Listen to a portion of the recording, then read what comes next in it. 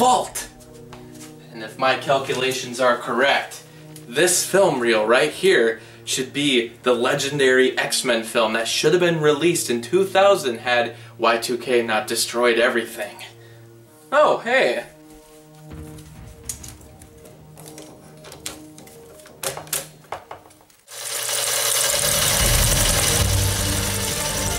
A vortex! I'm opening the vortex! Ah!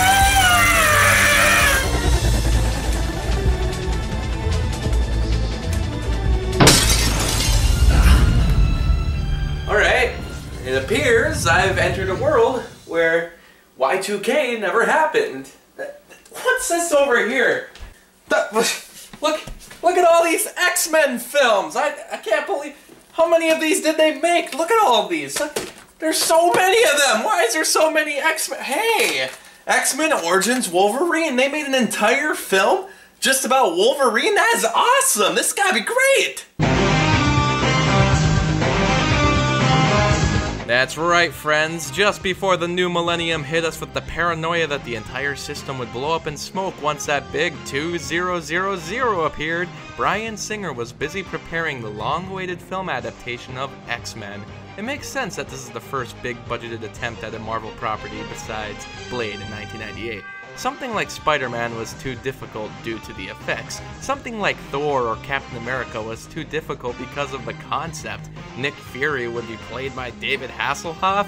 X Men, though? Hell, keep your character count low, and then you got yourself a movie. One of the biggest shows for kids in the 90s was X Men the Animated Series. So there was a huge fan base, not just from the comics, but from many forms of media, waiting for a project such as this. The co-creator of The Punisher and the one responsible for spoiler Gwen Stacy's death is Gerry Conway, who originally co-wrote an X-Men screenplay in 1984 with Roy Thomas. You know, 1984, the year work began on Howard the Duck, a great year in cinematic history. Orion Pictures had the rights to make the film, but didn't really have the money, which is weird. Didn't they destroy the box office with Terminator? Speaking of Terminator, James Cameron wanted to produce an X-Men film with his wife Kathryn Bigelow directing, but then he wanted it to be all computer graphics with 3D and she wanted it to be a modern war drama, and this led to a fight that led to their divorce. Yep, it's all X-Men's fault. Then Stan Lee was talking too much about Spider-Man, so James Cameron moved on to that project, which also was extinct. Man, Cameron is just good at killing Marvel films back in the day, huh? However, a different kind of filmmaker saw potential.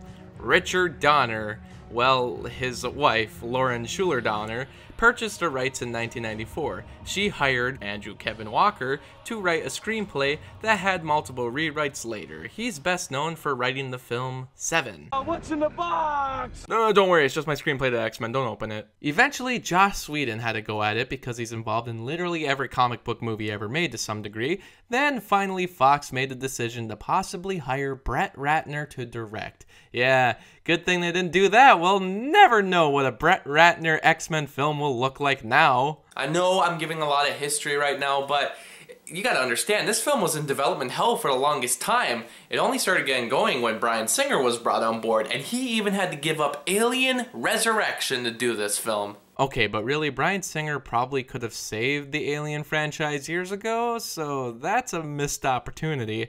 Sure, we got X Men, but come on. David Hayter wrote the screenplay with Christopher McQuarrie. He later took his name off the final version because he felt it was more in line with Hayter's version, and Hayter didn't hate. Things had to be cut from the screenplay like Nightcrawler, Beast, and The Danger Room. Apparently $75 million is okay for a film, but 18 million? No way. Cut that crap out and save us $5 million. But X Men The Last Stand needs to be the most expensive movie at the time at 210 million. Good job, Fox. But don't worry, they got the film finished just in time for Christmas of 2000. That was until they moved it up to June of 2000, out of nowhere. Thanks a lot, Fox. You know, that's a good way to risk making a bad product. The movie was a huge success. It made nearly $300 million at the box office, led a huge line of sequels, and jump-started the career of Hugh Jackman. And to think that this was a movie that opens with a literal concentration camp. Yep, big summer blockbuster right here! I know Schindler's List was important, but I don't know if I want a sequel. The film opens this way because Bryan Singer wanted it to be set in reality. So he's the blame, huh? That's why we got a decade of films trying to take comic books so seriously with the dark and edgy gray colors, which is still leaking over into films today like Man of Steel. In any case, it's a great opening scene. I remember in my Captain America 1990 review that it was the only movie I can think of where the opening scene is the villain's origin, but looks like it's done here too. It also works a lot better because the villain is a very sympathetic one. We can see the humanity that's inside him. But we know he's not a human, he's a wizard. You're a wizard. No! Fly, you fools!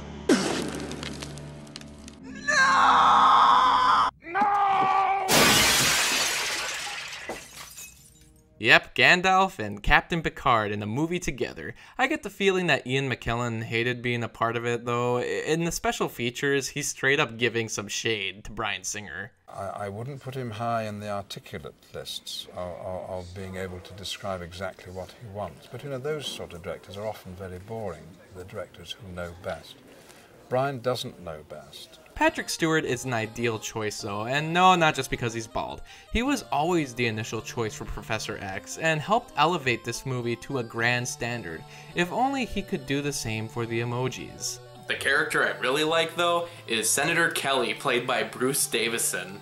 Every single thing he does is believable. He acts like a politician, looks like a politician. I like how well he does at this relatively small role. His goal in the film is to make the Mutant Registration Act, much to the dismay of all mutants. It's an interesting case where both the good guys and the bad guys have a common enemy, but both take a different approach. Why didn't Bryan Singer hire his frequent collaborator Kevin Spacey? They're bringing drugs, they're bringing crime, they're rapists, and some, I assume, are good people. Thank you.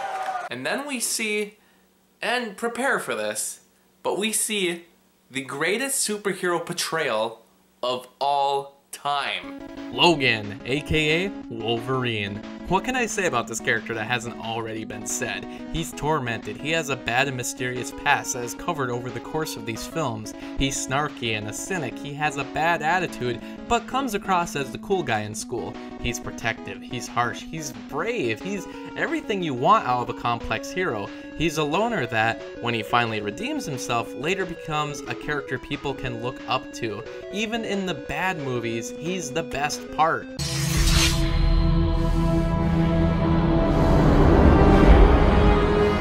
Oh, uh, well, yeah, we'll get to that someday. It's unbelievable that Hugh Jackman is an unknown at the time, but this led to a career of great films like Prisoners and the underrated Eddie the Eagle, and a freaking Oscar nomination for Les Miserables, opposite Russell Crowe, who originally was intended to play Wolverine. This is what happened when he didn't get the part.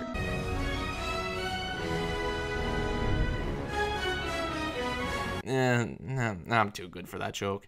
Actually, in the Kathryn Bigelow era, Wolverine was gonna be played by Bob Hoskins. Now, that would have been a character.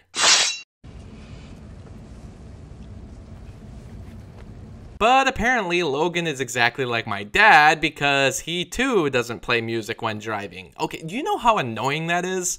I'm Rogue. Did you know that the name Marie was created specifically for this movie, the first time Rogue got a real name? Speaking of Rogue, let's talk about her for a second. I can't comment on her character in the comics, but based on what I saw in the animated series, she seemed to be more comedic and fun. In this film, she's a lot more serious, a shy teenager who had a peculiar life. I guess they were combining the characters of Jubilee and Kitty into her as well, but honestly, I think she's a downfall for the movie. Also, technically, those characters still appear in the movie, and one of them later turns into Ellen Page. I think it's a mixture of misdirection, writing, and a poor performance. Anna Paquin won an Academy Award for the piano, so she obviously has some chops, but I just don't think it's evident here. Even during a real serious scene where she nearly dies, she doesn't seem to know what she's doing.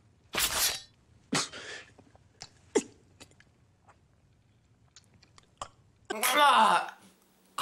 Oh, don't worry. I've managed a lot worse.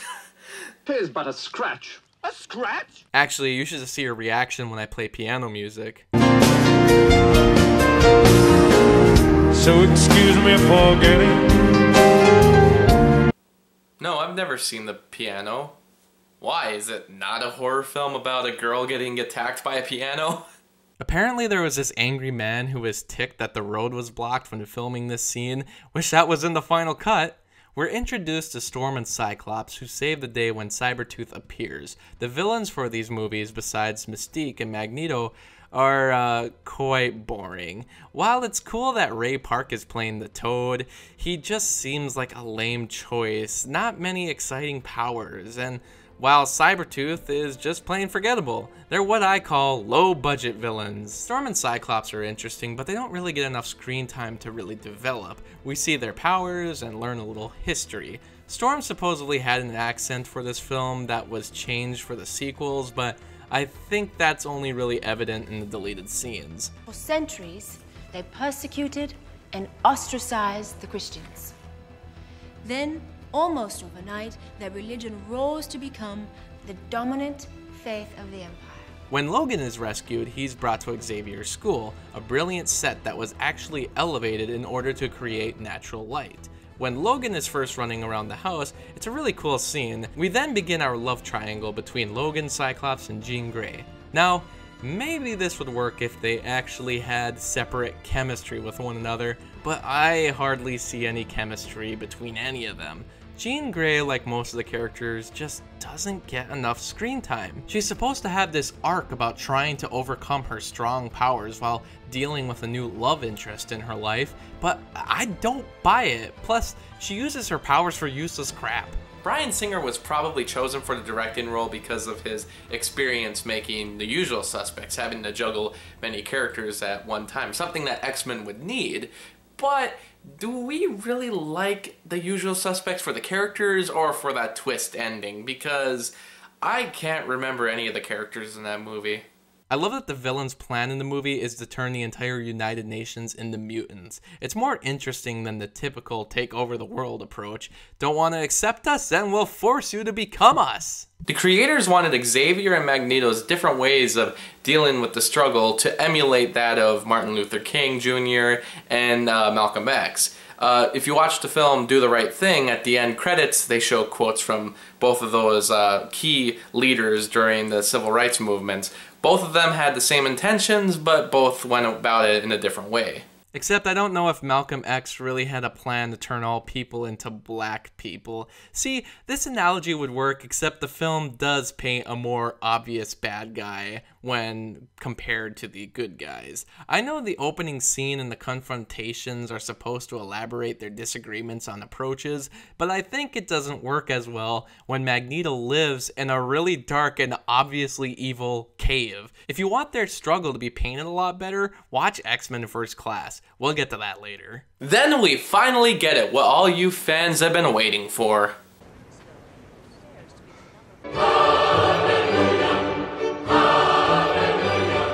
Ladies and gentlemen, it's the first Stan Lee cameo. This would continue a tradition that would go on so long that it created a fan theory that he was the Watcher, which eventually was proven true. Except, this isn't his first cameo, Mallrats is, so that's part of the Marvel Universe, right? Here, I'm gonna tweet at Kevin Smith and see if that's what he was going for. It's funny that internet controversy even happened back in the late 90s because at one point Bryan Singer was reported as fired on numerous film sites and he actually believed it. Ah, the internet. It's been the same since the beginning of time. It's never changed. How cute. Anyway, this film follows a typical storyline now with the wise mentor being knocked out and the unprepared heroes having to fight the final battle. There's a lot of cool stuff in this scene. Uh, Logan fights Mystique, who has taken on his own likeness. There's a couple of funny scenes. Toad does this really gross thing to Jean's face. And it all leads to a climactic battle at the Statue of Liberty, where just a couple feet away, Fry is being pushed off by Kane. I've always loved how this film ties together at the end. Sure, there's not a lot of character development, but the story's still pretty good. There's enough action, there's enough suspense, there's great effects, and a perfect execution of plot devices. Magneto forces Rogue to use her powers of taking other mutant abilities to use his device because it was killing him, but he doesn't care if she dies. And after Wolverine does the biggest destruction to the Statue of Liberty since Ghostbusters 2, Rogue sadly dies and the UN becomes deformed mutants, and Magneto defeats the X Men. A bum ending. I wonder how all the sequels came about. The film had a huge ad campaign. It had lots of trailers and TV spots all of them featured the same scenes of Mystique transforming and Senator Kelly's uh, mutant form rising out of the water, which I don't know, I always thought that was kind of a sloppy looking uh, scene. It kind of looks like Jason Voorhees in Friday the 13th. Uh, but it also had a website. See, this was uh, 2000, so websites were starting to become a common thing for film, and uh, the web address was x-men- the-movie.com. Isn't that memorable? The film was released on DVD, having a number of deleted scenes that really add nothing to the movie. Segments from the always great Charlie Rose, where he interviewed Bryan Singer, a screen test with Hugh Jackman, the typical storyboards and art galleries, which are depressing to look at because they show what the costumes were going to look like, but later changed their minds and went for the simple black leotards. There's trailers and TV spots, and really creepy looking animatics.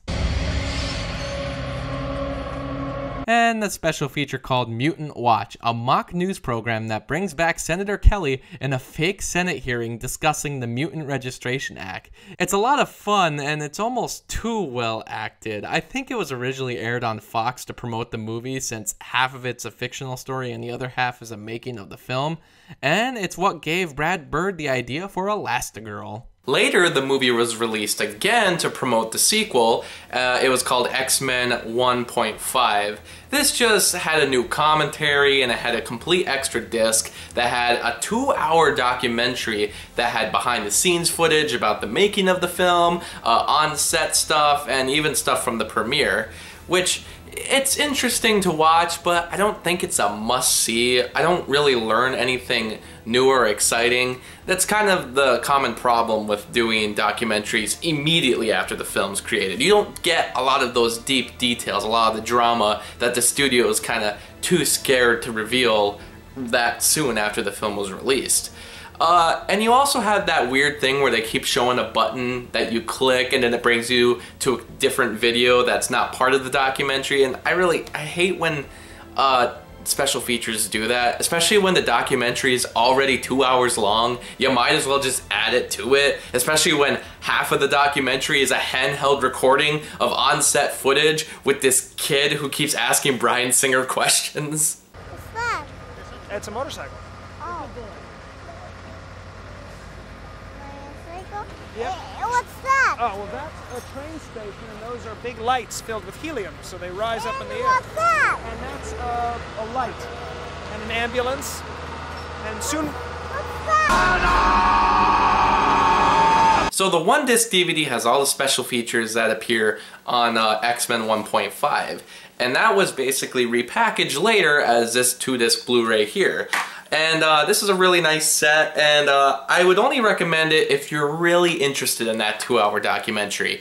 Me personally, I don't think it'd be that worth it. It's not a documentary I'm gonna watch again, so if you see the one disc version in like some bargain bin, I would just buy that. Uh, if you're buying it on Amazon though, the 2-disc and the 1-disc Blu-rays are pretty much the same price, so you might as well buy the 2-disc. It's up to you though. I mean, the other thing is that the trailers only are on the disc 2 of the Blu-ray, and I really like having a trailer with my Blu-ray. I don't really get why they don't put trailers on the discs anymore. It's really ticking me off. And the commentary also has a couple interesting things. And I know I've been making fun of this movie for its character development, but this is the one that put Marvel movies on the map. This film gets the important things down. It's got a great story, it's well paced, it's got Wolverine at the center of everything. It has a great dynamic between Professor Xavier and Magneto.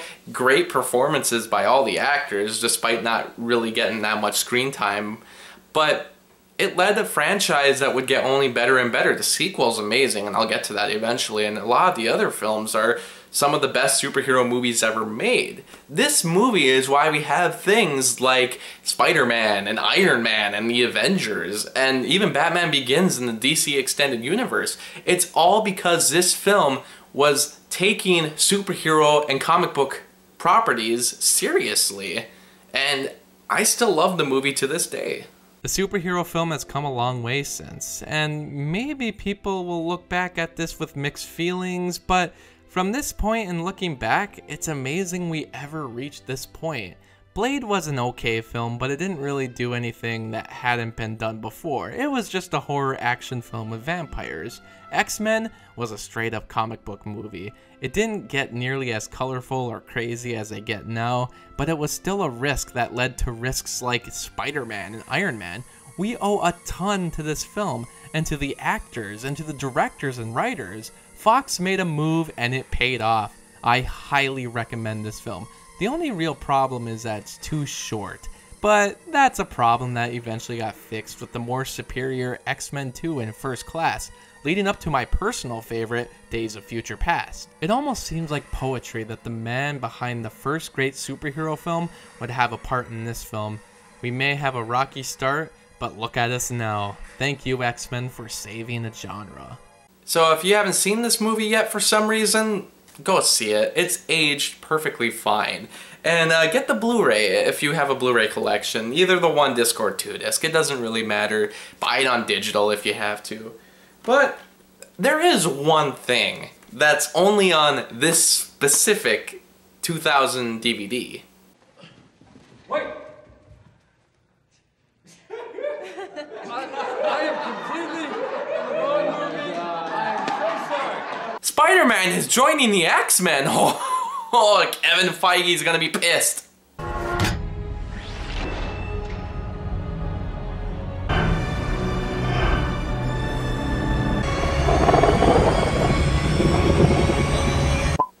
Well, great. Now I'm invisible, just in time for Halloween.